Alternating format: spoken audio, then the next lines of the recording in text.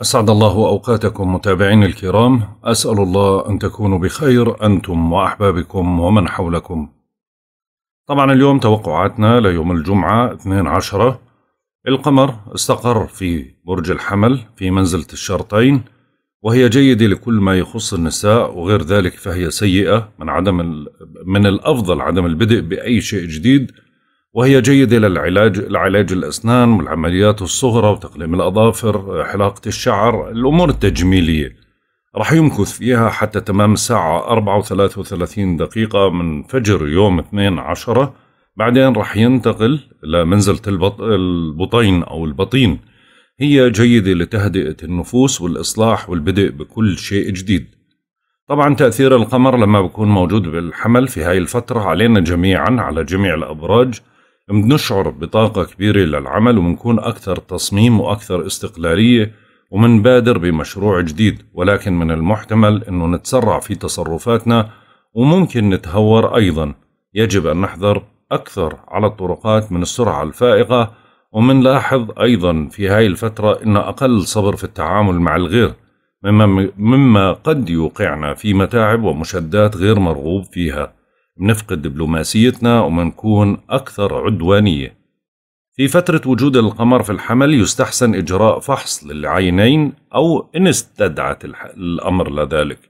ويمكن شراء أوراق زي اليانصيب وأنا ما بنصح لأنه شوي في تأثيرات لبعض الكواكب وإدخال تعديل على قصة الشعر وإقامة حفل ما.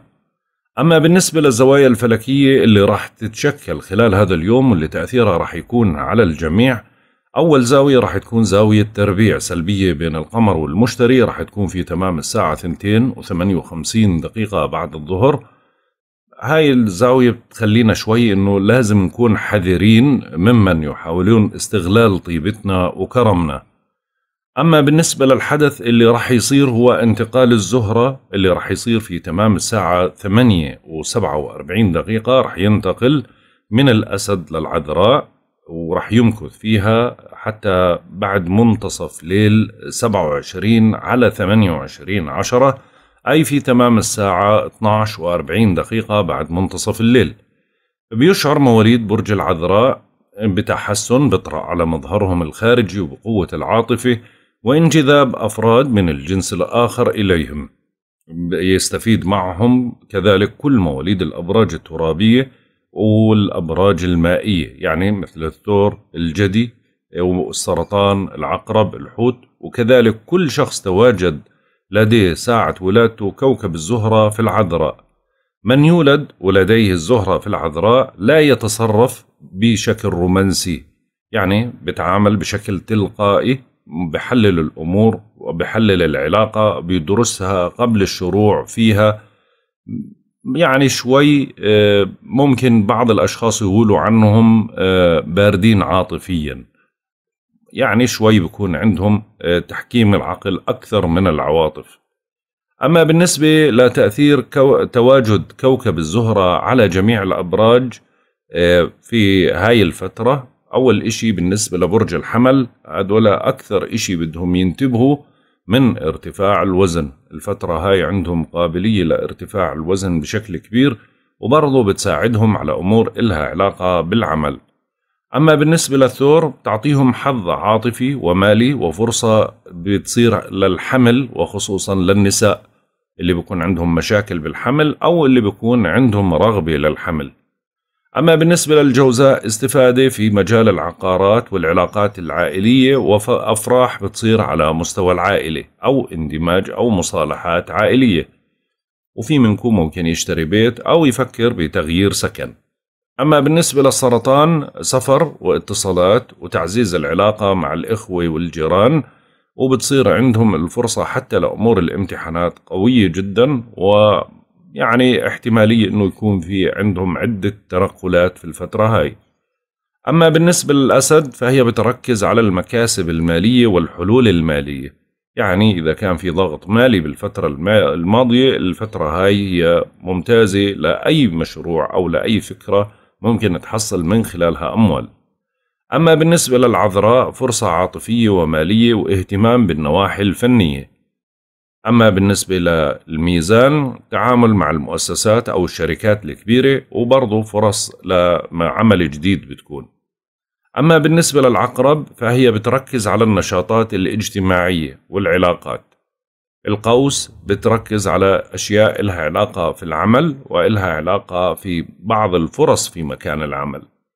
أما بالنسبة للجدي فهي بتعطي سفر واتصالات وقضايا قضائية وخصوصا آه، السفر البعيد والهجرة والأمور اللي إلها علاقة برضو بالعودة لأرض الوطن وبرضو على مستوى الدراسة الجامعية ممتازة. أما بالنسبة للدلو فهي بتعطي مال من شراكة أو أموال الشراكة أو تعويضات أو أمور إلها علاقة بنوع من أنواع الدعم. ممكن شركة جديدة تحصل من خلالها أموال. أما بالنسبة للحوت برضو بركز على أمور الشراكة في العمل أو في الزواج. يعني برضو بتعطي فرص لمواليد برج الحوت بالارتباط أو الزواج أو خطوبة بالفترة هاي. طبعا هم ومواليد برج العذراء أكثر المحظوظين في أمور إلها علاقة بالارتباط والزواج بالفترة هاي ومواليد برج الثور. أما بالنسبة للزاوية التي تليها هي زاوية تربيع سلبية راح تكون بين القمر وبلوتو. راح تكون في تمام الساعة 11 و 59 دقيقة مساء. بتدفع بعض الأشخاص إلى التسلط ومحاولة فرض سيطرتهم على الآخرين ممن حولهم من الأصدقاء وأفراد العائلة. طبعا زي ما لاحظنا أنه القمر منتحس بسبب الزوايا وبسبب وجوده بالحمل لأنه راح يشكل برضه زاوية التربيع مع الكواكب اللي موجودة بالجدي. فعشان هيك اليوم في نوع من أنواع الحذر أو البلبلة على بعض الأمور. فعشان هيك بدكم تركزوا في التوقعات آه، كثير. أما بالنسبة للقمر طبعا هو في برج الحمل خلو المسار القادم آه، راح يكون يوم 3 عشرة. راح يبدأ في تمام الساعة 5 و47 دقيقة صباحا بتوقيت غرينتش وراح يستمر حتى تمام الساعة 3 و12 دقيقة مساء لينتقل بعدها إلى برج الثور. طبعا الآن في صندوق الوصف آه، خلو المسار كامل يعني الأيام اللي فيها خلو مسار طيلة الشهر. أما بالنسبة لعمر القمر القمر المكتمل 15 يوم في تمام الساعة الرابعة عصرا بيصبح 16 يوم نسبة الإضاءة 95% يعني بلش ينقص عن المكتمل. أما بالنسبة لمزاج الكواكب وطباع الكواكب لهذا اليوم الشمس في الميزان حتى يوم 22 عشرة مزاجها منتحس بنسبة 15% القمر في الحمل حتى يوم 13 عشرة منتحس بنسبة بين 50 و 70% عطارد في العقرب حتى يوم 14 عشرة المزارع تبعه سعيد رغم أنه بشكل زوايا شوي صعبة. الزهرة في الأسد والعذراء حتى يوم 28 عشرة مزاجه سعيد يعني هو بالأسد ينتقل للعذراء زي ما حكينا في التحركات. مزاجه سعيد بنسبة 45% المريخ في الحمل بيتراجع حتى يوم 13 11 مزاجه منتحس بنسبة 60% المشتري في الجدي حتى يوم 19 12 مزاجه سعيد بنسبة 15% زحل في الجدي حتى يوم 17 12 مزاجه سعيد بنسبة 10% أورانوس في الثور بيتراجع حتى يوم 14 واحد مزاجه منتحس. ما نعطيه نسبة 10% نبتون في الحوت بيتراجع حتى يوم 29 11 مزاجه ممتزج. بلوتو في الجدي بيتراجع حتى يوم 14 مزاجه منتحس بنسبة 10 ل 15% وصلنا للتوقعات اليومية. برج الحمل. طبعا اليوم القمر موجود في البيت الأول عندكم يعني في برجكم فعشان هيك اليوم ثقتكم بأنفسكم بتصير كبيرة وبعمكم النشاط وبتسيطروا على زمام الأمور وبتنجحوا بالدفع بمصالحكم. حان الوقت لحسم الأمور العالقة ممكن تسمع جواب كنت تنتظره اتحرك وما تنتظر إنه تجيك الفرصة لعندك. حاول إنك أنت تذهب بحث عنها وما تضيع الوقت. هاي البداية بداية جديدة رغم إنه القمر منتحس ورغم إنه برضو في بعض الأحداث العصبية أو اللي بتوترك خلال الفترة هاي إلا إنه الأجواء بتحمل لك يعني فرص ممتازة. أما بالنسبة للبيت الثاني فالأجواء هنا بتعزز على أو بتركز على بعض الأمور المالية فانتبه لبعض المصاريف أو الدفعات أو الغرامات بالفترة هاي. انتبه لفلوسك من السرقة أو الضياع أو ممكن مغامرة أو مجازفة تؤدي لخسارة فلوس أو مخالفة مثلا. أما بالنسبة للبيت الثالث فاليوم رح تنشطوا في أمور لها علاقة بالإتصالات والمواصلات والتنقلات والحوارات. إن ثقتكم بأنفسكم عالية وقدرتكم على الإقناع عالية إن ضبطتوا أعصابكم. اللي عنده امتحان أو مقابلة بده يدرس ويستعد بشكل جيد وبرضه انتبهوا أثناء حركتكم وقيادتكم للسيارات. أما بالنسبة للبيت الرابع فالأجواء تقريبا بتحمل بعض الإيجابية لها علاقة في البيت أو تقارب ما بينك وبين أفراد العائلة أو تضامن. أو اتصالات. يعني في بعض الاهتمامات العائلية راح تكون ممتازة بالفترة هاي وممكن تعمل تقارب جيد ما بينك وبين أفراد العائلة. في منكم راح يهتم أو ينجز بعض الأعمال المنزلية أو بعض الأعمال اللي بتتطلب نوع من أنواع التعب الجسدي أو الإرهاق. ممكن حدث معين يشكل لك نوع من أنواع التوتر. أما بالنسبة للبيت الخامس على المستوى العاطفي الأجواء روتينية تقريبا ولكن بما أنه القمر في البيت الأول فهو بيعزز البيت الخامس شوي فبعطيك شوية حظوظ ممكن تعزز من خلالها علاقتك العاطفية أو تتواصل مع الأحبة وهذا إشي رح يساعدك وينعش علاقاتك العاطفية بشكل جيد. وممكن برضو تلجأ لتعويض الأيام الماضية ما بينك وبين أحد الأحبة اللي هو ممكن أحد الأبناء أو أحد الوالدين أو الحبيب نفسه. أما بالنسبة للبيت السادس فاليوم بتبدأوا مرحلة جديدة لها علاقة بتعزيز أمور إلها علاقة بالعمل فبتفتح لك فرص لعمل جديد أو للتواصل مع الزملاء ورؤساء العمل أو قدرة على إتمام أعمال كان صعب أنك تتممها بالفترة الماضية. على المستوى العملي الأجواء جيدة وبالعكس بتعزز نقاط قوة بالنسبة لك حتى على المستوى الصحي ممكن تشعر بتحسن أو تجد علاج معين أو تبادر باستخدام علاج معين يساعد وضعك الصحي. أما بالنسبة للبيت السابع فطبعا الشمس والشمس حكينا أنه شوي منتحسة هي بالفترة هاي فهي بتسبب خلافات أو نقاشات حادة ما بينك وبين الشريك أو ما بينك وبين الزوج ضبط الأعصاب مطلوب. فممكن برضو أنه يكون في حوار أو نقاش أو سوء تفاهم أو حساسية أو ردات فعل من بعض التصرفات. أما بالنسبة للبيت الثامن فعطارد بركز على أمور إلها علاقة بالأعمال المشتركة فممكن تنضغط ببعض المسائل اللي إلها علاقة بالعمل المشترك أو منافسة مالية أو أمور إلها علاقة ببعض المجازفات المالية. ما بتطلب منك الأمر أنك تجازف أو تبالغ بالفترة هاي حاول أنك تدرس أوضاعك أو ترتبها بشكل جيد بدون ما يعني يعني تحاول إنك تزيد العبء على حالك وإحذر من المحتالين أو النصابين أو المجازفة في مشروع مالي معين. أما بالنسبة للبيت التاسع فالأجواء بتعزز قدرتك على الاتصالات الخارجية والتواصل مع أشخاص خارج البلاد أو تلقي اتصالات. وفي منكو راح يعزز آه، ثقته بالنفس في أمور لها علاقة بالامتحانات أو الدراسة الجامعية. أما بالنسبة لبيتك العاشر فهنا بدك تحافظ على سمعتك قدر الإمكان. الفترة هاي ما في داعي للمجازفة أو المغامرة أو المراهنة. انجز الأعمال الضرورية والمطلوبة وحاول أنك أنت يعني تدافع عن سمعتك أو تحمي سمعتك قدر الإمكان. أما بالنسبة لبيتك 11 فالأمور هنا بتتركز على أمور الصداقات والعلاقات العامة. فالفترة هاي بتحمل أشياء بتقارب ما بينك وبين الأصدقاء أو ممكن مناسبة أو احتفال أو تواصل أو جمعة أو لمة يعني في أجواء مناسبة وقوية ممكن أنها يعني تخلي بعض الأشخاص أو الأصدقاء يدافعوا عنك أو يعززوا ثقتك بنفسك أو يساعدوك في أمر ما أو يبادروا بمد يد العون لإلك. أما بالنسبة لبيتك 12 فهنا الأمور شوي يعني بتتطلب لسه نوع من أنواع الانتباه على أمور إلها علاقة بتعطيلات في مكان العمل أو صعوبة في إنجاز بعض الأعمال أو تراخي أو كسل أو تطورات على المستوى الصحي. ممكن تظهر بعض التطورات أو التقلبات الصحية اللي تسبب لك نوع من أنواع الإرباك. برضو بدك تكون محتاط من بعض الأشخاص اللي ممكن إنهم يتآمروا عليك أو يستغيبوك أو يحاولوا يكيدوا لك. بمعنى آخر بدك تكون واعي لأي شخص ممكن يتقمص شخصية صديق وهو بالواقع عدو وممكن إنه يورطك بمشاكل أنت بغنى عنها. احمي نفسك. وبرضه بالفترة هاي بتحمل نوع من أنواع القلق على صحة أحد الأحبة. برج الثور. طبعا بالنسبة للبيت الأول متقلب اليوم بما أنه القمر موجود في بيت المتاعب معناته بيت الشخصية رح يتقلب بأكثر من مزاج وممكن تشعر ببعض التعب أو الإرهاق أو التوتر أو الحدية يعني ما رح يتقلب مزاجك بأكثر من مرحلة خلال هذا اليوم.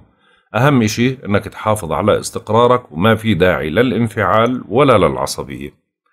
أما بالنسبة لبيتك الثاني فالأجواء هنا بتركز على الأمور المالية. ممكن تجيب لك بعض الفرص المالية أو المكاسب أو تحصل على مكسب ما. أهم إشي إنك ما تنفعل وما تعصب وما تتهور في صرف الفلوس يعني ما في داعي للمجازفات.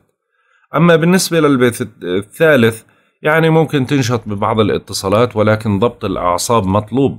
ما في داعي للشتات الذهن يعني حاول قدر الإمكان أنك أنت تنتبه أثناء قيادتك للسيارة أثناء حواراتك نقاشاتك كن واضح بطرحك. برضو في نفس اللحظة يعني دير بالك من الإصابات. اللي عنده امتحان أو مقابلة بده يدرس ويستعد بشكل جيد وما لازم يعتمد على الحظوظ نهائيا بالفترة هاي لأنه الأجواء مش مساعدة للمبالغة بالحظوظ. أما بالنسبة للبيت الرابع فالأجواء بتعزز بعض النقاط اللي إلها علاقة بالبيت أو الاهتمامات البيتية. ممكن تهتم ببعض الإنجازات أو الترتيبات بشكل جيد وممكن تظهر بعض الأعمال اللي إلها علاقة بالبيت. يعني بعضها ممكن يكون مربك ولكن إجمالا عندك قدرة على الاهتمام أو ترتيب وضع منزلي معين خلال الفترة هاي أو تقارب ما بينك وبين أفراد العائلة. أما بالنسبة للبيت الخامس فالزهرة اليوم راح تعطيك طاقة إيجابية ولكن لسه يعني ما وصلت لحدها القوي. فأول مواليد برج الثور ممكن هم اللي يشعروا أكثر شيء بالأمور العاطفية أو الرغبة بالحب أو تقرب من الأحبة أو تعطي فرص لهم لحب جديد. وبرضه أشياء إيجابية مثل اللي ذكرناها في بداية الحلقة. أما بالنسبة للبيت السادس فالأجواء هنا بتدعمك على مستوى أمور إلها علاقة بالعمل. أهم شيء إنك يعني تداوم بوقتك تخلي علاقتك جيدة ما بينك وبين زملائك ورؤسائك بالعمل. انجز أعمالك حتى لو عملت ساعات إضافية بدون إثارة الخلافات والمشاكل. راقب وضعك الصحي من بعض التقلبات وإحذر من المجازفات قدر الإمكان. أما بالنسبة للبيت السابع فهنا عطارد شوي ممتزج هو بالطباع يعني صحيح إحنا حكينا عنه إيجابي ولكن برضه بسوي زاوية تقابل مع أورانوس فهو بحدث مفاجآت على مستوى أمور الشراكة فممكن اليوم تحتد أو تعصب أو سوء تفاهم أو خلاف أو جدال ما بينك وبين الشريك. حاول قدر الإمكان أنك تضبط أعصابك يعني حاول أنك ما تبالغ ما تجازف وبرضه في نفس اللحظة من سوء تفاهم ما في داعي للعصبية ولا الحدية قدر الإمكان. أما بالنسبة للبيت الثامن فالأجواء ممكن تركز على بعض الأمور المالية المشتركة إما سداد ديون أو أموال أو تحصيل أموال. أهم شيء أنك تنتبه من بعض المحتالين. صحيح أنه الحظ ممكن يكشف لك إياهم في يعني وجود الزهرة في البيت الخامس يكشف لك هذول المحتالين ولكن أنت برضو بدك تكون حذر لأنه ما بتعرف إيش اللي بصير. ما في داعي للمجازفات واهتم بأي قضية مالية. أما بالنسبة للبيت التاسع فهنا الأجواء راح تكون معاكسة لإلك على أمور إلها علاقة بالسفر أو التنقلات أو الاتصالات البعيدة. ضبط الأعصاب مطلوب ما في داعي للمجازفات ولا للمغامرات. إذا كان عندك سفر بدك تستعد بشكل جيد وإذا كان عندك امتحانات جامعية بدك تدرس وتحافظ على دراستك بدون ما إنك أنت تهملها. يعني بمعنى آخر البيت التاسع شوي ما بعطيك القوة الكاملة فعشان هيك التركيز مطلوب. أما بالنسبة للبيت العاشر فهنا بركز على بعض الأمور اللي إلها علاقة بالسمعة. حاول تحافظ على سمعتك قدر الإمكان وحاول إنك ما تجازف وما تغامر بالفترة هاي قدر الإمكان. يعني بمعنى ما تشوه سمعتك. ممكن تحمل لك هاي بعض الأمور اللي إلها علاقة بمؤازرة بعض الأصدقاء لإلك أو مساعدتك في أمر معين. أما بالنسبة لبيتك 11 فالأجواء بتركز على بعض الأصدقاء وحوارك واتصالاتك معهم ممكن تحمل نوع من أنواع سوء التفاهم أو الاضطراب أو خلاف أو جدال. أهم إشي أنك أنت تخلي في تواصل أو عنصر التواصل يكون جيد ما بينك وبين الأصدقاء. فاليوم ممكن يتوجه لك دعوة لحضور حفلة أو مناسبة أو تسعد بلقاء بعض الأصدقاء. يعني الأجواء الاجتماعية جيدة وبتدعمك بقوة ولكن التركيز رح يكون على مسائل إلها علاقة بالبيت وإلها علاقة بالوضع المالي أكثر شيء. أما بالنسبة لبيت المتاعب فحكينا أنه القمر موجود في بيت المتاعب. عشان هيك الفترة هاي أو اليوم هذا بيتطلب منكم عدم المبالغة في جهدكم الجسماني. ضعوا سلم الأولويات للعمل الضروري والعاجل وانتبهوا لغذائكم وراحتكم. بتهدأ وتيرتك وبتتأخر النتائج والبضائع والمعاملات. وممكن تشعر ببعض الخيبة. ممكن تظهر خلافات أو التباسات لأنه طباعك متقلبة ومزاجك متعكر. ما تخالف القوانين لأنه ممكن تخسر أكثر مما بتتوقع. يعني برضو بتحمل نوع من أنواع القلق على صحة أحد الأحبة أو مراجعة طبية أو فحوصات طارئة. برج الجوزاء طبعا راح يتركز اليوم كله على المسار الاجتماعي أو على العلاقات الاجتماعية. راح تنشطوا باتصالات وتواصل قوي جدا. ممكن يتوجه لكم دعوات أو حضور حفلات أو حتى مناصرة أو مؤازرة من بعض الأصدقاء. الجو كله بينصب على هاي النقطة. حاولوا إنه بالفترة هاي تنجزوا الأعمال الضرورية قبل ما يوصل القمر لبيت المتاعب. فعشان هيك بدكم تكونوا حذرين للفترة القادمة أو مستعدين للفترة القادمة. بالنسبة للبيت الأول طبعا اليوم بيعزز بعض النقاط النفسية عندك بعطيك طاقة إيجابية وبدعمك بشكل قوي. حاول قدر الإمكان أنك تستفيد من هاي الطاقة للتحرك وللمكاسب. أما بالنسبة للبيت الثاني فعلى مستوى الأمور المالية شوي الأجواء متقلبة فممكن تظهر بعض المصاريف أو الأعباء الفترة هاي أو ضغوطات أو ممكن بعض المشاكل المالية. حاول قدر الإمكان أنك ما تجازف وما تغامر وبرضه راقب مصاريفك ووضعك المالي بشكل قوي. أما بالنسبة للبيت الثالث فبتنشطوا بأمور إلها علاقة بالاتصالات والحوارات وبرضه على عملية التواصل بتكون جيدة. ممكن اليوم تقدر توصل وجهة نظرك للأشخاص اللي حواليك أو تبادر ببعض المسائل اللي ممكن تكون لصالحك. حاول تشحن حالك بطاقة إيجابية قدر الإمكان وتبعد عن أي إشي ممكن يسبب لك خلاف أو جدال أو حوار حاد. إذا كان عندك امتحان أو مقابلة ادرس واستعد بشكل جيد. أما بالنسبة للبيت الرابع فالزهرة بتدعم مسائل العلاقة بالعائلة أو البيت أو أمور عقارية أو حتى أمور إلها علاقة بالديكورات والتغييرات والتصليحات بتدعمك بقوة. ممكن تبادر ببعض الأمور الفترة هاي أو تحسن وضع عائلي أو مصالحة أو تتجاوز بعض الصعوبات المنزلية. أما بالنسبة للبيت الخامس فالأجواء رغم ضعف الشمس إلا أنه برضو بتساعدك على الأمور العاطفية أو الرغبة بالتقرب من الحبيب أو تعزيز بعض نقاط القوى اللي بتساعد لمعالجة بعض الأمور العاطفية. أهم شيء أنك تدعم من علاقتك بالأبناء بالوالدين بالحبيب بالفترة هاي بدون خلافات أو جدالات أو حدية بالطباع. أما بالنسبة للبيت السادس فالأجواء عطارد بتضغط على العمل بتسبب لك بعض المتاعب أو القلق أو التوتر من مسائل معينة. حاول أنك تنجز أعمالك وتخلي علاقتك ما بينك وبين معاونيك جيدة وبرضه ممكن أنك تهتم ببعض الأمور الصحية أو بعض الإصابات اللي ممكن تلم فيك بالفترة هاي. فاحذر أثناء الحركة من بعض الإصابات. أما بالنسبة للبيت السابع فالأجواء روتينية يعني ما في أي شيء لا إيجابي ولا سلبي على طريقة التعامل ما بينك وبين الشريك أو ما بينك وبين الزوج فعلى طبيعتكم بتتعاملوا. ما في أي تأثير فلكي على هذا الموضوع. أما بالنسبة للبيت الثامن هنا بدك تركز بشكل قوي على أمور الأموال المشتركة لأنها بتسبب أعباء أو ضغوطات أو يعني بعض الأمور اللي بتسبب نوع من أنواع المشاكل. حاول قدر الإمكان ما تخوض بأي مشكلة ما تخوض بأي مسائل مالية نهائيا لا قضايا ولا جدال ولا حوار ولا حتى عصبية. وما تجازف وتغامر بأموال الغير. ضبط الأعصاب برضو مطلوب لأنه الفترة هاي فيها نوع من أنواع التوتر على مسائل الأموال المشتركة. أما بالنسبة للبيت التاسع فالأجواء جيدة شيئا ما. ما بنقدر نقول جيدة ممتازة بشكل كبير على مستوى السفر والاتصالات البعيدة والتواصل مع أشخاص خارج البلاد. بالعكس أنتم بتتعاملوا على طبيعتكم وعلى قد قدرتكم على الإنجازات. ممكن تظهر بعض المتاعب أو بعض الخلافات أما بينك وبين زملاء أو ما بينك وبين معلمين في مكان الجامعة ولكن يعني ضبط الأعصاب مطلوب. اللي عنده امتحان أو عنده مقابلة أو عنده دراسة بده يركز بشكل جيد وما يعتمد على الحظوظ نهائيا.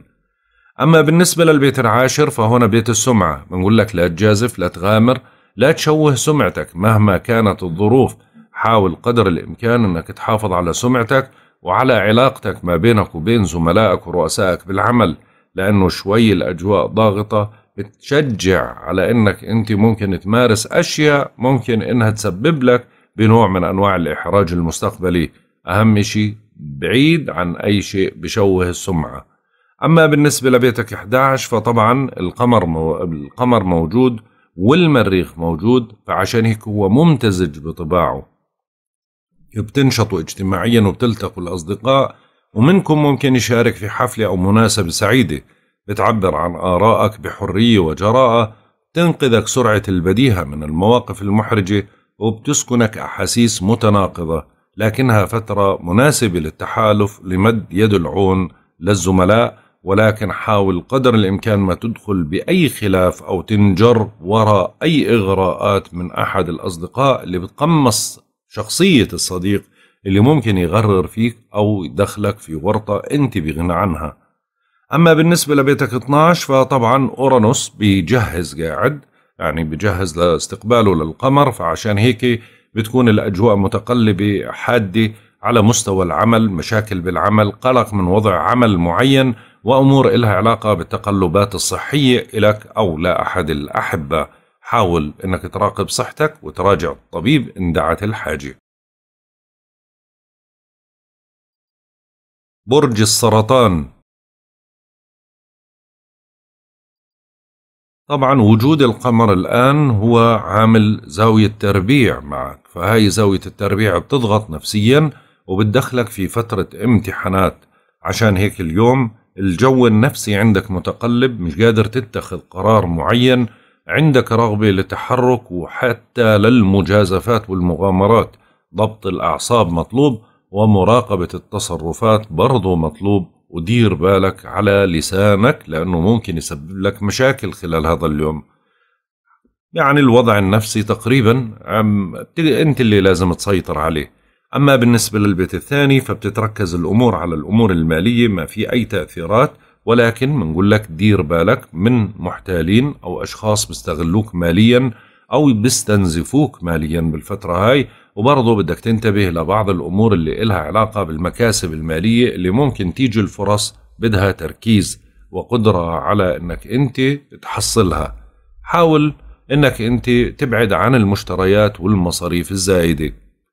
أما بالنسبة للبيت الثالث فالأجواء اليوم بتدعمك بشكل قوي. يعني بلشت مرحلة جديدة من النشاط والحيوية والقدرة على الاتصالات والتواصل وحتى على الإقناع ودراسة الأشخاص وتحليلهم حتى بتساعدك هاي على التركيز بتزيد من الذاكرة عندك وسرعة البديهة وقدرتك على المطالعة أو الدراسة. برضو بتفتح مجالات للامتحانات أو المقابلات أو المجازفات بالفترة هاي وبرضو على الاهتمام بمواضيع إلها علاقة إما بالسيارات أو بالتليفونات بشكل كبير وكل ما ذكرناه لحد الآن إيجابي.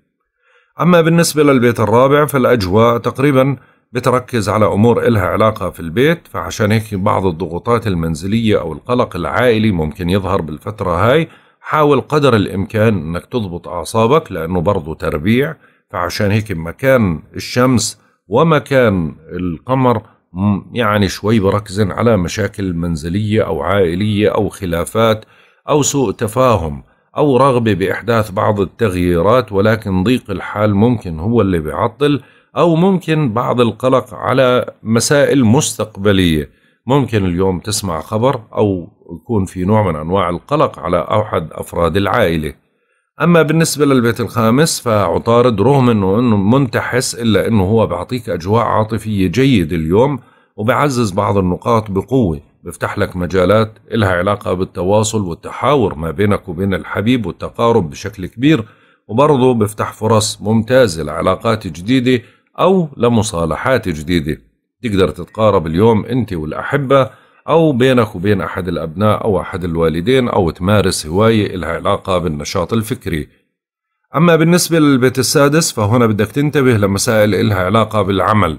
فعشان هيك ممكن تظهر بعض الخلافات أو الجدالات أو النقاشات أو يتعطل عمل ما. حاول تضبط أعصابك ما في داعي للتسرع وما في داعي لاتخاذ القرارات. وراقب وضعك الصحي من بعض التقلبات.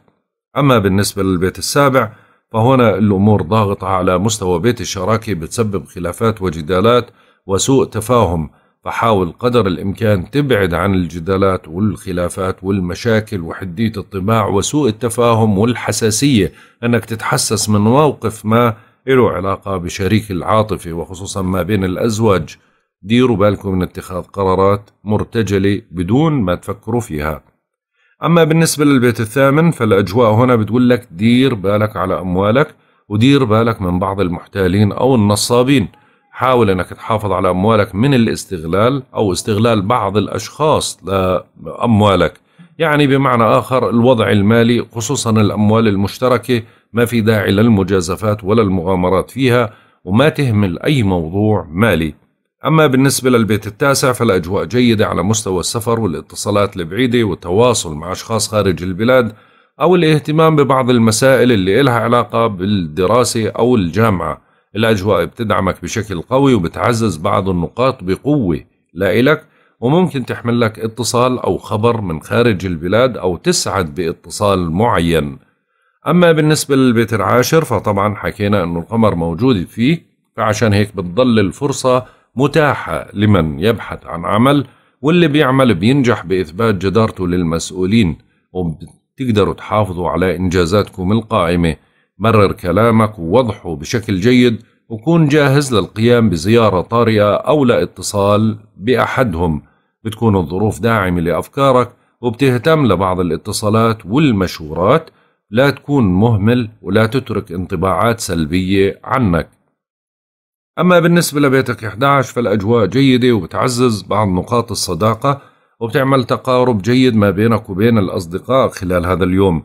فممكن شوي الأجواء تكون فيها نوع من أنواع المرح أو لقاء أو دعوة لحضور حفلة أو مناسبة أو تسعد بلقاء الأصدقاء. أما بالنسبة لبيتك 12 فما في أي تأثيرات سلبية بس اهتم بعملك وبإنجازاتك بصحتك بعلاقاتك وممكن برضو تسبب لك إما مراجعة طبية أو وسواس من ناحية صحية أو أمور لها علاقة بصحة أحد الأحبة. برج الأسد. طبعا اليوم حيوية ونشاط وطاقة عالية جدا موجودة عندكم ورغبة بالتنقلات والاتصالات قوية فعشان هيك اليوم لازم تستغلوه قدر الإمكان ولكن بشرط واحد ضبط الأعصاب ضبط اللسان عدم التسرع باتخاذ القرارات. أما بالنسبة للبيت الثاني فالأجواء اليوم بتركز على الأمور المالية بشكل كبير. فاليوم ممكن تحصلوا بعض المكاسب المالية أو الاهتمامات المالية وعادة هاي المكاسب بتيجي من عمل إضافي أو مستردات أو هبات أو نوع من أنواع الدعم ولكن بدكم تحذروا من المجازفات المالية أو المبالغات المالية أو زيادة المصاريف. برضو بعضكم بده يحذر من بعض المحتالين أو النصابين أو المبالغة في أمر مالي ما. أما بالنسبة للبيت الثالث فالأجواء بتساعدك على الاتصالات والحوارات والنقاشات والتواصل. عندك قدرة عالية لقراءة الأشخاص وتحليلهم وبرضو عندك قدرة للتواصل والإقناع بوجهة النظر. في من كل يوم ممكن يناقش أو يحاور أو يحل مسألة معقدة أو يدخل بامتحان أو مقابلة بشكل مهم. في منكم رح يهتم ببعض المسائل اللي إلها علاقة بالسيارات أو الاتصالات أو المواصلات أو الأجهزة الإلكترونية ممكن أعطال أو صيانة أو اهتمام. في منكم برضه رح ينشط بعلاقة مع أخ أو جار. أما بالنسبة للبيت الرابع فعطارد بضغط على المسائل العائلية شوي بسوي ردات فعل سلبية أو توتر أو قلق أو حوار أو عصبية في بعض الأوقات. ضبط الأعصاب مطلوب ما في داعي للمجازفات ولا للمغامرات ولا لتوجيه العتاب واللوم والحدية بالطباع. ممكن تظهر بعض المسائل البيتية المعقدة اللي تتطلب منك إجراءات مثل ترتيب أو تظبيط أو تصليح أو اتخاذ قرارات. ممكن شوي تكون فيها نوع من أنواع التسرع. أما بالنسبة للبيت الخامس فالأجواء بتركز على الأمور العاطفية والتقارب مع الأحبة بشكل قوي. وبتساعدكم بإنعاش علاقاتكم وخصوصا التواصل مع الأحبة. الأجواء فيها أشياء إيجابية وتعزيز علاقات جيدة ما بينك وبين الأحبة أو ما بينك وبين الأبناء أو الوالدين. ممكن تمارس هواية معينة أو حتى تطلع على بعض الأمور الفكرية. أما بالنسبة للبيت السادس فالأمور بتتطلب منك الحذر على مسائل إلها علاقة بالعمل ممكن بعض العداوات أو المخالفات أو أشخاص بتكيد لك على مسائل العمل بتتطلب منك نوع من أنواع السيطرة الفكرية وأمور إلها علاقة برضو بالتواصل الجيد ما بينك وبين زملائك أو رؤسائك بالعمل. أما بالنسبة للوضع الصحي فهو شوي متقلب بظهر بعض الخلافات أو النقاشات الحادة آه، أو أشياء بدها اهتمام صحي أكثر. الأجواء يعني بتتطلب منك مراقبة غذائك وصحتك بشكل قوي.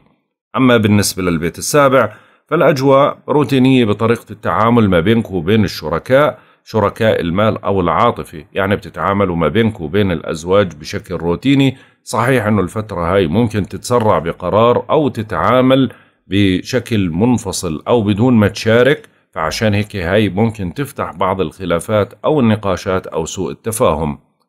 أما بالنسبة للبيت الثامن فبنقول لك ركز على الأمور المالية المشتركة لأنه شوي في بعض الخلافات أو الجدالات أو المشاكل على أمر مالي مشترك. ممكن شوي فيها بتحمل نوع من أنواع الخسارة أو التراجع بالأرباح أو المردود ولكن برضو بتتطلب منك أنك أنت ترتب أمورك لأنه الفترة هاي بتحمل قلق على مستوى مصاريف لها علاقة إما بالعائلة أو بالبيت أو بالأمور الصحية أكثر. أما بالنسبة للبيت التاسع فالأجواء طبعا القمر موجود والمريخ موجود فبتنشطوا في أمور إلها علاقة بالسفر والاتصال البعيد فترة مناسبة لإجتياز امتحان أو إجراء مقابلة. اظهر تعاون أكبر مع الآخرين والجهات المسؤولة بتكون الظروف مناسبة لبحث مواضيع جديدة أو لاختبار تجارب مختلفة. ممكن تشعر بالاعتزاز والفخر من بعض الإنجازات أهم شيء إنك ما تستسلم وما ترضخ لشروط أو أمور ما بتناسبك. ناقش بمنطق ولكن بنفس اللحظة إذا كان عندك امتحان أو مقابلة بدك تدرس وتستعد بشكل جيد وما تعتمد على الحظوظ. أما بالنسبة للبيت العاشر فهذا بيت السمعة بنقول لك لا تجازف لا تغامر لا تخالف القوانين لا تدخل بأشياء مشبوهة الأجواء مش مناسبة لتشويه السمعة. وبرضو انجز أعمالك وما تتأخر فيها. أما بالنسبة لبيتك 11 فهو بيعزز من علاقاتك ومن صداقاتك فممكن تنشط ما بين الأصدقاء أو يتوجه لك دعوة لحضور حفلة أو مناسبة أو تسعد من اتصالات معينة أو من تحالف أصدقاء معك. عشان هيك الأجواء فيها نوع من أنواع الإيجابية بتتطلب منك استغلالها وعدم إهمالها. بدك تكون لماح وتعرف كيف تقتنص الفرص. أما بالنسبة لبيتك 12 فهنا بنقول لك دير بالك على عملك ودير بالك على صحتك حتى لو تعمل ساعات إضافية انجز أعمالك وبرضه بالمقابل انتبه لبعض التوعكات الصحية اللي ممكن تشعر فيها بهاي المرحلة. برج العذراء يعني بظل التركيز بالفترة هاي على الأمور المالية. أكثر القلق موجود عندك هو الوضع المالي لأنه هو اللي شوي في بعض الالتباسات والالتزامات والإرباك والضغوطات. تتطلب منك أنك تراقب حالك بشكل جيد وتراقب مصاريفك ودفعاتك واهتماماتك المالية بدون ما تهملها. الأجواء اليوم بتبلش مرحلة جديدة بتعزز من ثقتك بالنفس وبتعطيك طاقة جيدة وبرضه رغبة للتحركات رغم أنه القمر موجود في البيت الثامن إلا أنه راح تحس بنوع من أنواع الفوارق خلال هذا اليوم. أما بالنسبة للبيت الثاني فطبعا الأمور المالية هي اللي راح تشغل فكرك اليوم إما ببعض المسائل أو المصاريف أو الدفعات أو الالتزامات أو تحسين وضع مالي معين. ممكن تحصل على مكاسب من عمل إضافي أو مستردات أو هبات أو نوع من أنواع الدعم.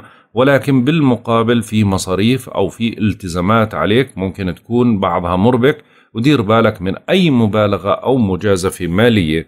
أما بالنسبة للبيت الثالث فعطارد بدعمك على مستوى الاتصالات والمواصلات والتنقلات والحوارات بيعطيك أشياء إيجابية وبيدعمك بشكل قوي خلال هذا اليوم بيعزز من ثقتك بالنفس وقدرتك على إيصال المعلومة.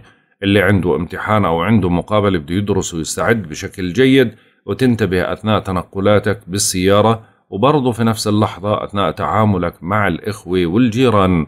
أما بالنسبة للبيت الرابع فالأجواء ضاغطة على مستوى البيت بتسبب نوع من أنواع الإرباك ممكن حوار أو جدال أو نقاش أو بعض الأعمال المنزلية المربكة. ممكن شوي تظهر بعض المسائل اللي فيه من وراها تعب. عشان هيك ضبط الأعصاب مطلوب وبرضه إذا كان في عندك ورشة أو أمور بيتية أو مستجدات عائلية اهتم فيها بدون ما تفقد السيطرة على نفسك. يعني ضبط الأعصاب مطلوب وطريقة الحوار الجيد مطلوبة والتقارب ما بينك وبين أفراد العائلة مطلوب أكثر. أما بالنسبة للبيت الخامس فطبعا الجدي يعني بيضغط شوي على المسائل العاطفية بسبب كثرة الزوايا اللي موجودة وخصوصا مواليد العشرية الثانية والثالثة. أكثر الناس اللي بدهم يحذروا من بعض التقلبات العاطفية أو العصبية أو الخلاف اللي بصير ما بينهم وبين الأحبة حاول قدر الإمكان إذا كنت واضح وقدرت تتواصل بشكل جيد. الأجواء بتصير إيجابية. خلي في نوع من أنواع الاهتمام حتى بالأبناء أو بالوالدين أو خلي تقارب ما بينك وبينهم بشكل جيد. أما بالنسبة للبيت السادس فالأجواء تقريبا يعني بتضغط شوي على المسائل اللي إلها علاقة بالعمل وبالصحة. ممكن تنجز بعضها أو بعض الأشخاص يساعدوك في بعضها ولكن الأهم أنك أنت تشحن حالك بطاقة إيجابية قدر الإمكان ما في داعي للمجازفات ولا للمغامرات على مستوى العمل ومستوى الصحة. إن شعرت بشيء غير اعتيادي حاول أنك تراجع طبيبك أو تستشير أهل الاختصاص حتى بالعمل أو بأمور الصحية لأنه الأجواء مش مساعدة للإهمال. أما بالنسبة للبيت السابع فالأجواء هنا بتعزز علاقاتك ما بينك وبين الشريك بتعمل تقارب جيد وممكن مصالحة أو تفاهم على مسألة معينة. أهم شيء أنك تبعد عن الانتقاد والكلام اللاذع أو الجارح أو سوء التفاهم. أما بالنسبة للبيت الثامن فالأجواء زي ما حكينا أنه القمر موجود في البيت الثامن فبتظل الأمور المالية بتشغل فكركم والفرصة متاحة لمكسب له صلة بشراكة أو تعويض بيتوجب عليك عدم مخالفة القوانين والإرشادات وعدم ترك الأعمال ناقصة ومهملة. كن متفهما لأوضاع الآخرين ولآرائهم وتجنب الكلام الجارح وكون دبلوماسي. أما بالنسبة للبيت التاسع فالأجواء هنا بتركز على أمور إلها علاقة بالسفر أو السفر البعيد خاصة أو علاقتك مع الأجانب أو أشخاص مقيمين خارج البلاد. في منكم راح يهتم ببعض المسائل اللي إلها علاقة بالمراسلات أو الاتصالات أو التواصل أو الرغبة بإنجاز بعض الأوراق اللي إلها علاقة إما بسفارة أو إلها علاقة بهجرة أو إلها علاقة بسفر.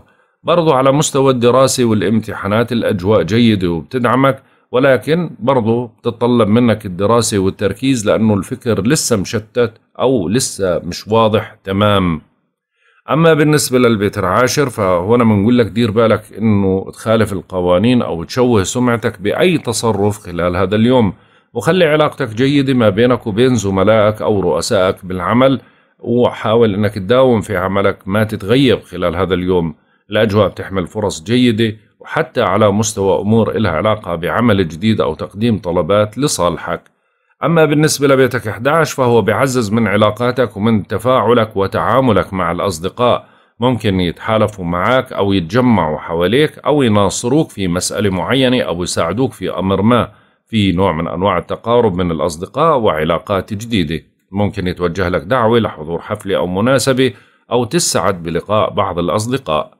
أما بالنسبة لبيتك 12 فطبعا الأجواء ما زالت فيها نوع من أنواع الضغط على العمل زي ما حكينا بده تركيز وبده دراسة وبده تفاهم ومع الزملاء أو مع الأشخاص المعاونين والاهتمام بالشؤون الصحية هو المطلوب الأكثر في الفترة هاي.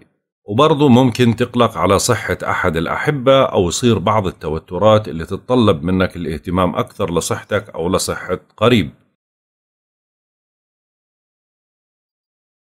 برج الميزان طبعا القمر الآن موجود مقابلكم تماما فعشان هيك شوي الأمور بتتركز على بعض النقاط اللي إلها علاقة بتدعيم الشراكة وإلها علاقة ببعض المسائل اللي بتتطلب منكم جهد شوي لأنه شوي طاقتكم بالفترة هاي بتكون ضعيفة وبتكونوا عرضة للتوترات والتقلبات النفسية أو شوي بتتطلب منكم الراحة والاهتمام بنفسكم أكبر. حاولوا انكم تخلوا الأمور الضرورية روتينية بدون ما انكم تبالغوا وتجازفوا بالفترة هاي. يعني الأجواء مش مساعدة بالشكل القوي فعشان هيك بتتطلب منكم الاهتمام بشكل كبير وخصوصا بالصحة. أما بالنسبة للبيت الثاني فطبعا في اضطرابات على المستوى المالي أو تقلبات. ممكن الفترة هاي تحمل نوع من أنواع المصاريف أو الخسارة أو استغلال بعض الأشخاص لإلكم. ديروا بالكم على فلوسكم ديروا بالكم من المجازفات والمغامرات أو النفقات للزيادة أو المبالغة بالمصاريف في وضع مالي مقلق يعني بيتطلب منك الاهتمام بشكل أكبر في هاي المسائل بدون ما تهمل أي نقطة لا شاردة ولا واردة. أما بالنسبة للبيت الثالث فالأجواء بتعزز الاتصالات والحوارات والنقاشات عندك بشكل روتيني تقريبا ممكن اليوم يكون عندك مقابلة أو اتصال أو حوار أو امتحان مثلا في منكم رح يتعرض لبعض الأعطال اللي إلها علاقة إما بالسيارات أو بالتليفونات أو بعض الإصابات أثناء الحركة. انتبهوا أثناء تعاملكم برضو مع الإخوة والجيران.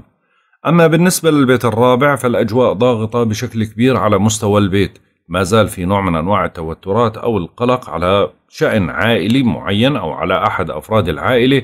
أو على أمور إلها علاقة ببعض المسائل الشخصية الداخلية. ممكن يكون في بعض الأعطال أو الاهتمام بتصليحات أو ترميمات أو صيانة لبعض الأمور المنزلية أو حتى للاهتمام ببعض الشؤون العائلية أو التواصل مع أفراد العائلة أو اجتماع عائلي يعني في مناسبة أو في خبر أو في موضوع. أما بالنسبة للبيت الخامس فطريقة التعامل ما بينك وبين الأحبة بتكون روتينية خلال هذا اليوم يعني ممكن يكون فيها بعض الإيجابيات ولكن ضبط الأعصاب مطلوب بدون الإساءة أو توجيه اللوم أو الكلام الجارح. في منكم راح يتعامل أو يخرج أو ينشط بالمسائل الفكرية أو الترفيه عن النفس خلال هذا اليوم. حاولوا أنه تخلوا في نوع من أنواع التقارب الجيد ما بينكم وبين الأحبة أو الأبناء أو الوالدين. أما بالنسبة للبيت السادس فالأمور هنا بتضغط بشكل واضح راح تكون على الأمور العملية. يعني ممكن تراكم عمل ضغط عمل أعمال كثيرة واجبات التزامات إيه، خلاف أو حل مشكلة بتتعلق بأحد الزملاء أو المعاونين في مكان العمل. برضو بدك تنتبه على صحتك من بعض التقلبات وما في داعي للوسواس الوسواس ابعد عنه وخصوصا حول الأمور الصحية. أما بالنسبة للبيت السابع فاليوم بترغبوا في تدعيم شراكاتكم. فترة مناسبة للقيام بعمل بتطلب تعاون من طرف ثاني بتكثر الواجبات وبتتزامن وممكن تشعر بالهلع لضيق الوقت. حاذر من التراجع الصحي. ما في خوف عليك إذا اتبعت الإرشادات والتعليمات وحاول إنك تتجنب المشاكل وما تتسلط. الفترة هاي زي ما حكينا طاقتك ضعيفة وعدوك دائما بالفترة هاي بكون أقوى منك وابتعد عن الأمور القانونية. أما بالنسبة للبيت الثامن فالأجواء هنا بتركز برضو على الأموال المشتركة. ممكن تحمل خبر أو تحمل مجازفة أو تحمل آه، يعني شيء مقلق بسبب الوضع المالي المشترك اللي هي الأموال اللي بتكون ما بينك وبين أطراف إما ديون أو شراكة أو قروض أو سلف أو أمور لها علاقة بالبنوك أو حتى النفقة والضريبة. ممكن شوي تظهر بعض المسائل اللي تسبب لك نوع من أنواع الإرباك بالفترة هاي. فعشان هيك ضبط الأعصاب أثناء أثناء تصريف أموركم المالية بدها تكون واضحة. أما بالنسبة للبيت التاسع فاتصالاتكم بعيدة والتواصل مع أشخاص خارج البلاد بتكون روتينية على حسب طبيعتكم تتصرفوا فيها.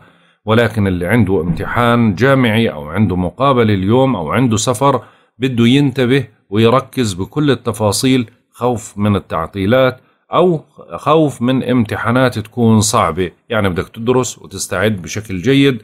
أثناء حواراتك واتصالاتك مع أشخاص خارج البلاد بدك تضبط أعصابك قدر الإمكان. أما بالنسبة للبيت العاشر فبيت السمعة بقول لك دير بالك ما تجازف وما تغامر وما تشوه سمعتك في هذا اليوم. حاول قدر الإمكان تبعد عن الخصام والجدال مهما كانت الظروف. خلي أعمالك كاملة وإنجز أعمالك ما تخليها ناقصة. وبرضه اهتم بعملك وبزملائك وبالعمل أو رؤسائك بالعمل لأنه ممكن يصير تواصل ما بينك وبينهم. أما بالنسبة لبيتك 11 فهو بيعزز من صداقاتك وعلاقاتك فممكن يتوجه لك دعوة لحضور حفلة أو مناسبة أو تسعد بلقاء بعض الأصدقاء بهاي الفترة ويصير تواصل جيد ما بينك وبينهم. أما بالنسبة لبيتك 12 فبيت المتاعب يعني تقريبا بدعمك من الزهرة صار شوي أحسن فبدعمك على إنجاز بعض الأمور الصعبة والاهتمام ببعض الشؤون الصحية بشكل أحسن وبشكل لمصلحتك أكثر ولكن بتحمل قلق على صحة أحد الأحبة. برج العقرب. طبعا القمر صار موجود في البيت السادس لإلكم عشان هيك شوي في ضغط على الأمور اللي إلها علاقة بالعمل أكبر الشعور بالإرهاق والتعب أو تراكم بعض الأعمال عندك. وبرضه بيعمل نوع من أنواع التقلبات على المستوى الصحي. ممكن تظهر لك بعض الخلافات أو النقاشات أو الحوارات اللي إلها علاقة بالعائلة أو بمسائل مالية. أما بالنسبة للبيت الأول فالأجواء تقريبا مضطربة اليوم. في نوع من أنواع الحدية أو العصبية أو التقلب بالمزاج أو إصدار القرارات المرتجلة. حاول قدر الإمكان أنك ما تتخذ أي قرار مرتجل وما تتزمت وتعند على رأيك. يعني بمعنى آخر خليك مرن شوي وبرضو اشحن حالك بطاقة إيجابية لأنه برضو عندك رغبة بالتحرك ولكن بتشعر ببعض الإرهاق أو التعب. أما بالنسبة للبيت الثاني فراح يركز على مسائل إلها علاقة بأمور بتتعلق بالأوضاع المالية. ممكن تحمل بعض القلق أو التوتر على وضع مالي أو مصاريف زيادة. منكم ممكن يحصل بعض المكاسب أو المردودات أو الحقوق ولكن بالمقابل في مصاريف أو في دفعات أو قلق من وضع مالي معين. انتبهوا على أموالكم من السرقة أو الضياع أو من النصابين والمحتالين. أما بالنسبة للبيت الثالث فالأجواء هنا بتركز على أمور إلها علاقة بالاتصالات والمواصلات والتنقلات. عندك رغبة جامحة اليوم زي ما حكينا بالتحرك ولكن بدك تدير بالك من انفعالاتك. انتبه أثناء تحركاتك من الإصابات أثناء قيادتك للسيارة من الحوادث أو الأخطاء أو اللهو أو السهو.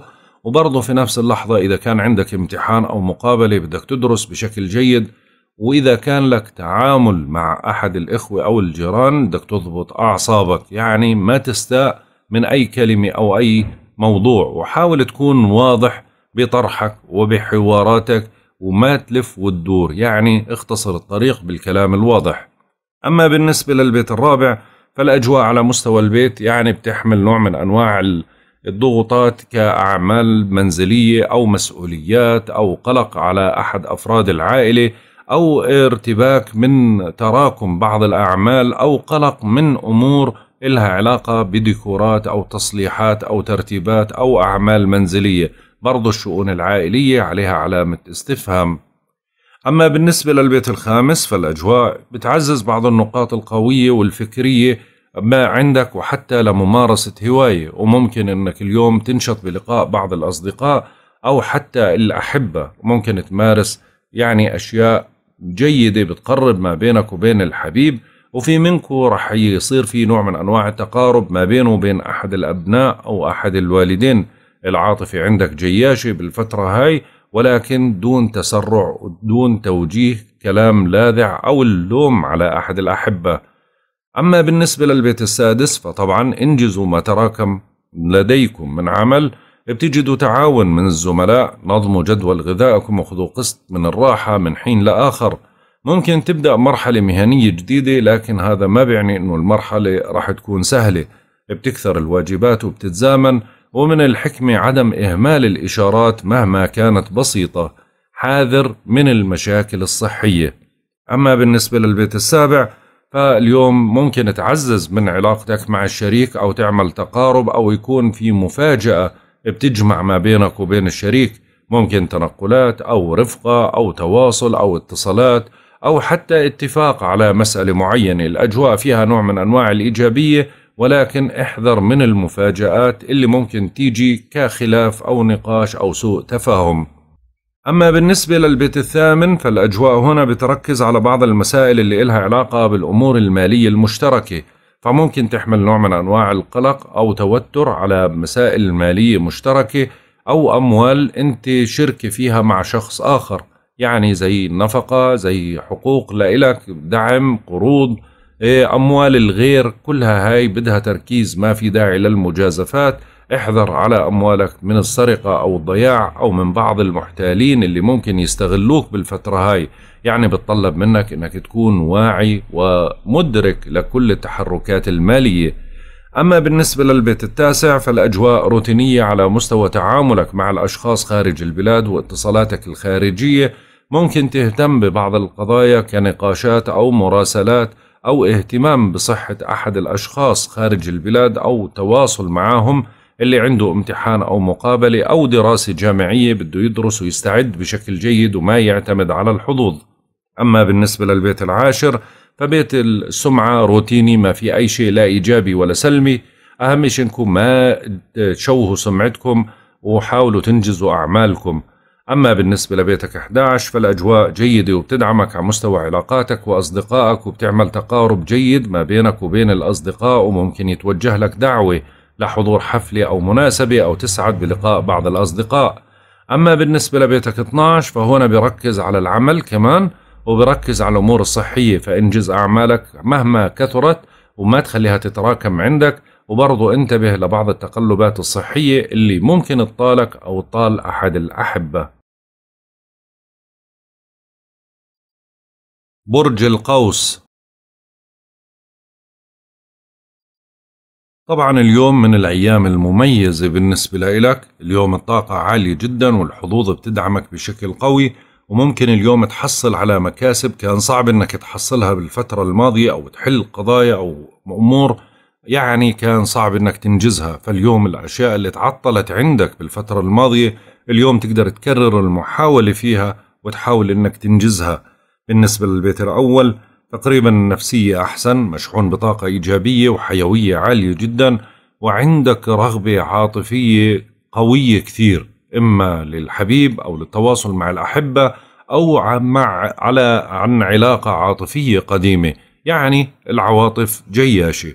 أما بالنسبة للبيت الثاني فالأجواء بتركز على الأمور المالية. ما زالت الأمور المالية بتشكل نوع من أنواع العبء أو الضغط أو القلق أو ممكن مصاريف زيادة.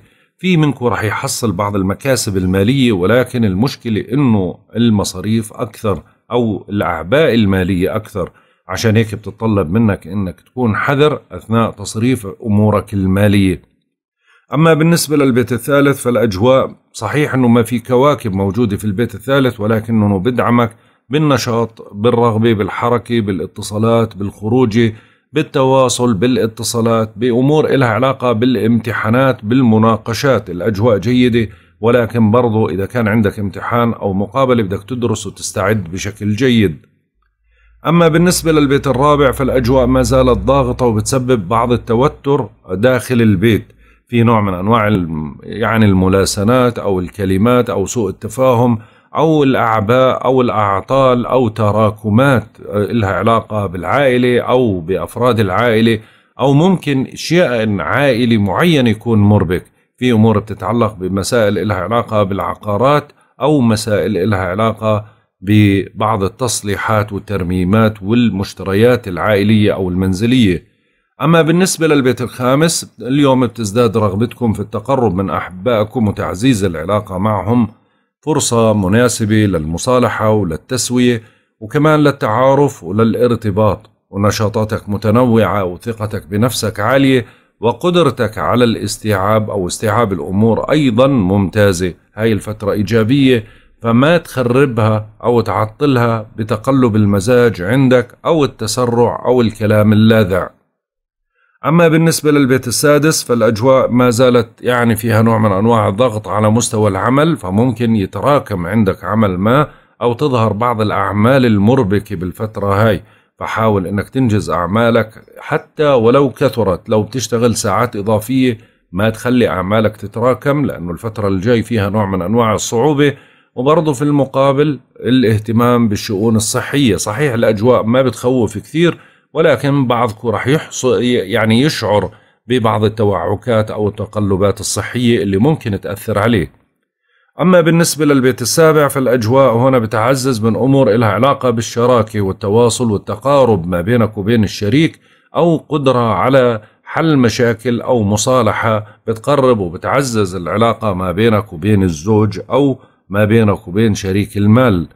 أما بالنسبة للبيت الثامن فهنا الأمور بتركز على بعض المسائل اللي لها علاقة بالأموال المشتركة. انتبه من النصابين والمحتالين وانتبه على أموالك من السرقة والضياع. ممكن تحصل مكاسب مالية من عمل مشترك أو من تعويضات أو أموال إلك أنت بتستردها. أما بالنسبة للبيت التاسع فمنكم رح ينشط بأمور إلها علاقة بالاتصالات البعيدة والتواصل مع أشخاص خارج البلاد أو الرغبة بإنجاز بعض الأوراق أو المعاملات اللي بتتعلق بشؤون السفر اللي عنده مناقشة أو عنده امتحان أو عنده مقابلة بده يستعد بشكل جيد. كمان إذا كان عندك أمور لها علاقة بالسفر أو سفر بدك تركز بكل حيثياته. ممكن تهتم بتفاصيل شخص معين مقيم خارج البلاد أو ممكن حوار أو مراسلات في بعض الأمور يعني ممكن تتعطل شوي ولكن برضو بتمشي بإن كررت المحاولة. أما بالنسبة للبيت العاشر فبيت السمعة جيد وقوي جدا. تقدر تدافع وتعزز من سمعتك بالفترة هاي وبرضو ممكن تعزز من علاقاتك ومعارفك حتى مع زملائك ورؤسائك بالعمل وبتحمل فرصة لعمل جديد. أما بالنسبة لبيتك 11 فهنا الأمور بتتركز على أمور الصداقات سوء تفاهم أو خلاف أو جدال أو نقاش. بتنشط اجتماعيا بالفترة هاي وبرضه ممكن يتوجه لك دعوة لحضور حفلة أو مناسبة أو تسعد بلقاء بعض الأصدقاء أو تحالفهم معك أو أنت تتحالف معهم. يعني الفترة هاي فيها نوع من أنواع التكاثف وفيها برضو علاقات جديدة. أما بالنسبة لبيتك 12 فهنا بدك تكون حذر بشكل كبير على مسائل العمل. انجز أعمالك وما تخليها تتراكم. وبرضو بالمقابل بدك تهتم ببعض التقلبات اللي ممكن تطال وضعك الصحي. ممكن صحتك أو صحة أحد الأحبة. أهم شيء إذا شعرت بأي عارض أو أمور يعني مفاجئة راجع طبيبك. برج الجدي. طبعا القمر صار في البيت الرابع يعني تربيع معك فعشان هيك الأجواء بتكون نفسيا مش مرتاح. في بعض الضغوطات في بعض الأعباء في بعض التراكمات في ظهور مفاجآت اليوم شوي منها ممكن يكون مربك. عشان هيك ضبط الأعصاب وبرضه ضبط آه، التقلبات النفسية عندك. بدك تشحن حالك بطاقة إيجابية وتضبطها وما تخليها تسيطر عليك لأنها ممكن تسبب لك بعض الخلافات. أو بعض المشاحنات. أما بالنسبة للبيت الثاني فالأجواء هنا بتركز على بعض المسائل المالية فمنكم ممكن يحصل مكسب مالي من عمل إضافي أو مستردات أو هبات أو نوع من أنواع الدعم وفي منكم راح يحصل على أمور ممكن تنعش وضعه المالي أو بشرة لمساعدة مالية. يعني الأجواء المالية بتحمل نوع من أنواع الإيجابيات بس أهم شيء أنك تقلل من المصاريف. أما بالنسبة للبيت الثالث فالأجواء بتدعمك على مستوى الاتصالات والحوارات والنقاشات وسرعة البديهة ممكن تنقذك من مواقف. ولكن أهم شيء أنه يكون كلامك واضح ما تتدخل في شؤون الغير ما توجه انتقاد أو كلام لاذع. وبرضو إذا كان عندك امتحان أو مقابلة بدك تدرس وتستعد بشكل جيد واحذر أثناء تنقلاتك وحركتك وقيادتك للسيارة. ممكن الفترة هاي تحمل بعض الأعطال اللي إلها علاقة إما بالسيارة أو إلها علاقة بالأجهزة الإلكترونية. في منكم رح يكون له تعاون أو تعامل مع أخ أو جار. أما بالنسبة للبيت الرابع فطبعا القمر موجود فيه فعشان هيك بترغبوا في إدخال تعديل على مسكنكم والتفاهم مع أفراد العائلة. بتحتاج المسائل الخاصة والعائلية لمناقشة. بتظهر هاي الفترة نوع من أنواع الضغوط والمتاعب والمعاكسات ممكن تتعرض للمحاسبة وربما لتحديات واستفزاز. أما بالنسبة للبيت الخامس فالأجواء هنا بتركز على المسائل العاطفية.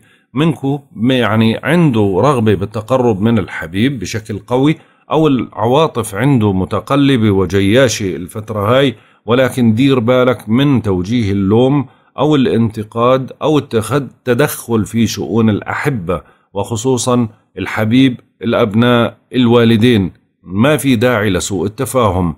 أما بالنسبة للبيت السادس فهنا بتتركز الأمور على الأموال وعلى العمل. فعشان هيك دير بالك على عملك ودير بالك على أموالك ودير بالك إنك تراكم الأعمال أو تهملها. وبرضه في خبر أو في حدث له علاقة بالعمل ممكن يكون بيوترك أو يخليك تشعر بنوع من أنواع القلق. وبرضه اهتم بالشؤون الصحية من بعض التقلبات. أما بالنسبة للبيت السابع فما في أي تأثيرات للكواكب فعشان هيك بنقول لك احذر من بعض الخلافات أو النقاشات أو الجدالات اللي ممكن تطال ما طالك وتطال الشريك اللي هو الزوج. فضبط الأعصاب مطلوب عدم التدخل في شؤونه وفرض الرأي عليه برضه مطلوبة. الأجواء برضه فيها نوع من أنواع الإيجابية للمصالحة إن رغبت في ذلك.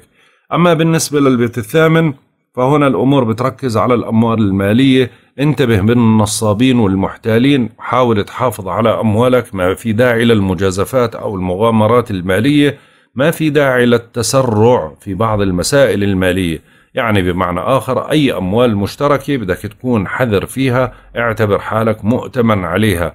أما بالنسبة لأموالك اللي بتكون عند أشخاص زي ديون أو حقوق لإلك حاول أنك تطالب فيها بس مش بعصبية وحدية ممكن بالأيام القادمة تكون الأجواء أحسن وخصوصا لما ينتقل القمر ويصير في البيت الخامس. لإلك يعني بمعنى آخر في برج الثور.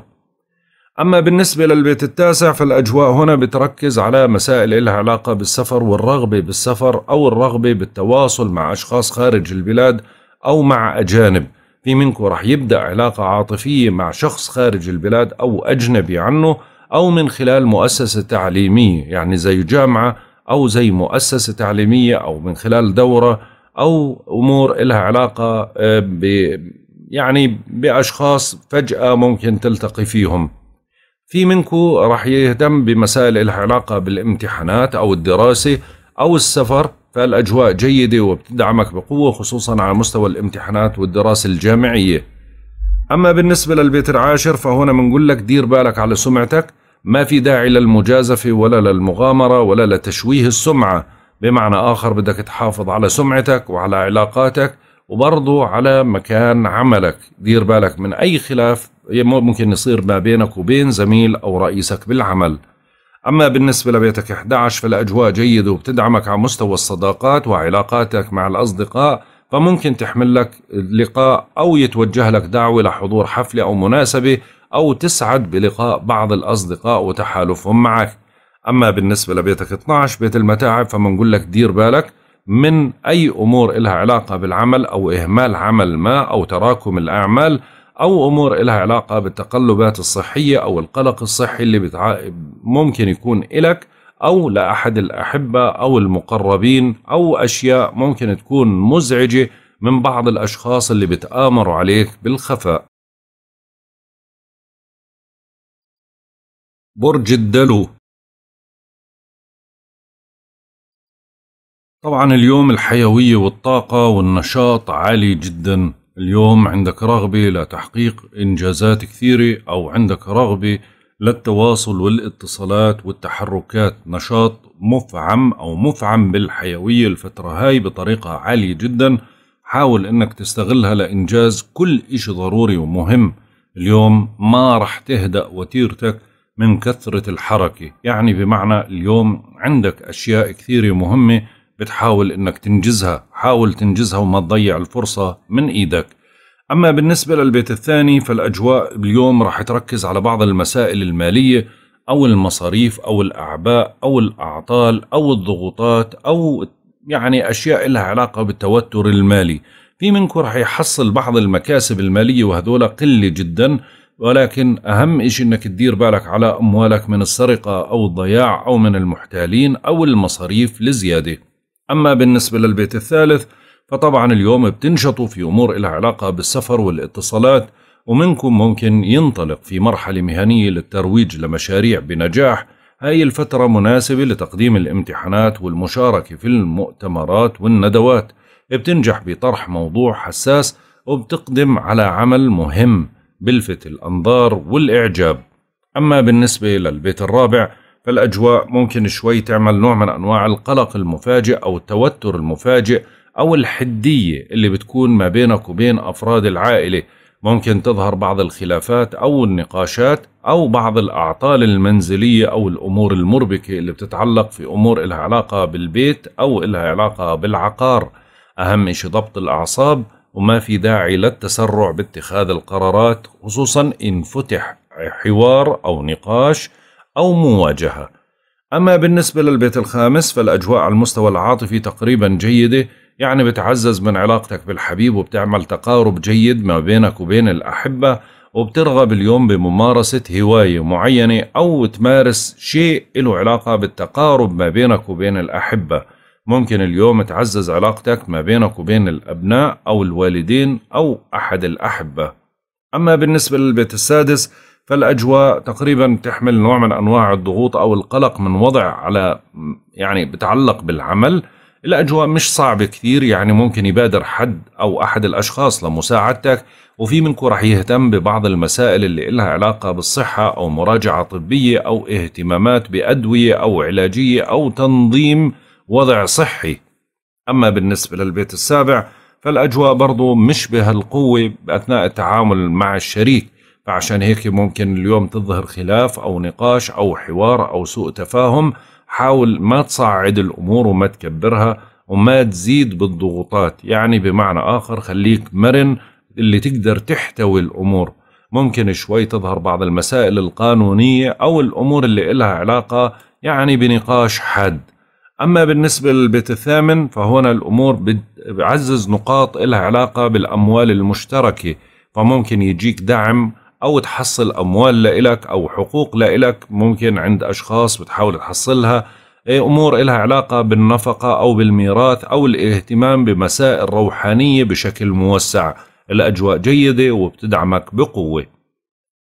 أما بالنسبة للبيت التاسع فهنا الأجواء بتركز على أمور إلها علاقة بالسفر والبعيد والاتصالات البعيدة والتحالف مع الأجانب أو أمور إلها علاقة بالجامعة والدراسة وحتى بإنجاز بعض الواجبات في منكو عنده مقابلة أو مناقشة أو امتحان جامعي الأجواء بتدعمك بقوة حتى بالعلاقات وممكن علاقة تنشأ ما بينك وبين إما شخص خارج البلاد أو من خلال مؤسسة تعليمية.